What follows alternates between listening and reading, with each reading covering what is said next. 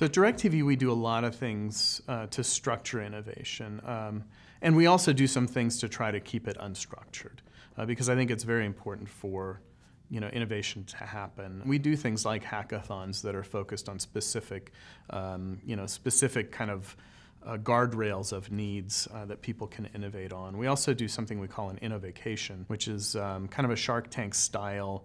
Uh, people present to the executive level uh, their ideas, and then we'll pick one or two, and we'll give those people a day a week to, to get those implemented or further down the path. One of the things that we've been doing to, to help kind of continue the unstructured innovations. We've done, we've rolled out a change initiative called, we call it F12. It's our 12 steps to focused fearless failure. So a 12-step program to recover from the fear of failure in the organization, creating a model and a culture where it's not about blame, but it's about learning and teaching each other so that people uh, don't have the same failures that someone else had.